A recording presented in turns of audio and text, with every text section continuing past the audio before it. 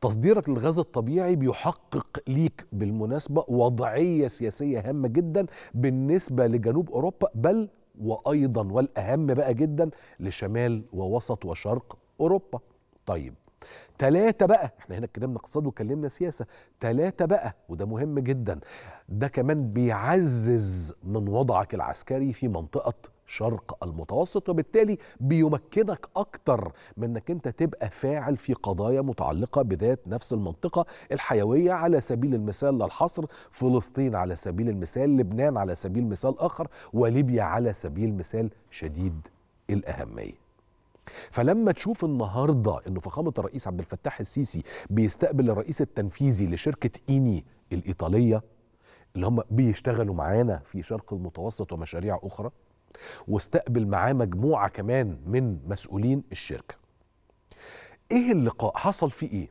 اللقاء كان بيتناول استعراض نشاط نشاط الشركة الحالي ده واحد والمستقبلي. الناس ما خدوش بعضهم وقالوا للخلف ضر يعني.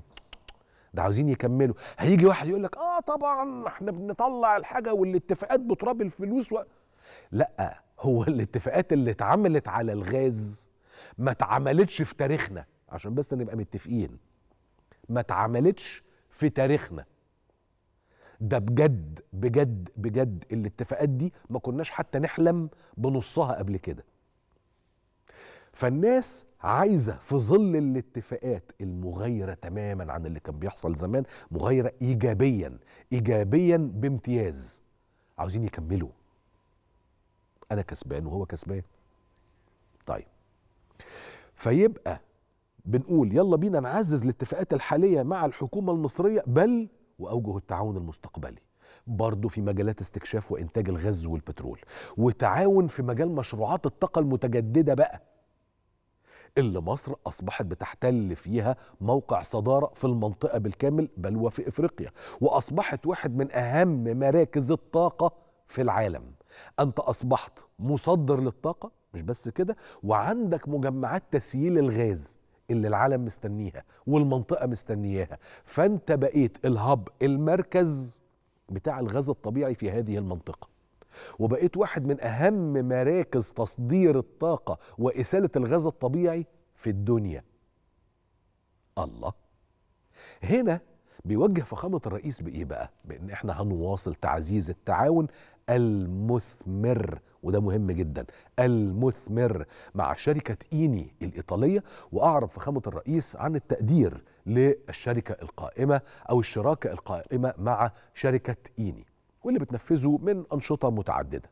أعرب فخامة الرئيس كمان عن تطلعه لمواصلة الشركة نشاطها في مجال البحث والاستكشاف عشان نقدر نحقق إيه بقى استغلال أمثل للموارد المصرية من الطاقة طيب رئيس شركة إيني بطبيعة الحال أعرب عن تشرفه بلقاء فخامة الرئيس وأعلن كمان اعتزازه بمسيرة التعاون المشترك ما بين الشركة وما بين مصر والاكتشافات والنتائج الإيجابية اللي اتحققت خلال الأعوام اللي فاتت تحت.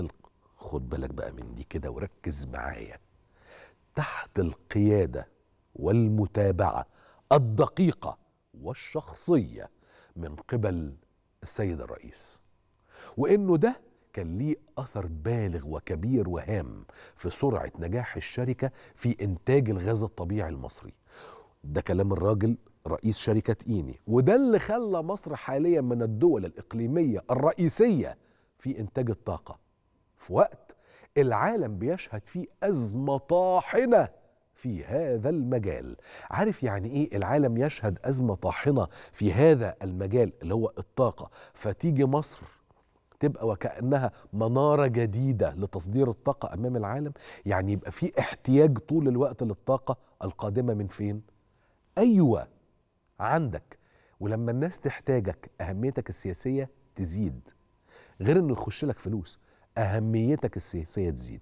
ده مهم قوي قوي قوي قوي ابعد عن الشائعة. ابعد عن التشكيك المطلق. ركز في الحقيقة. ركز في الواقع.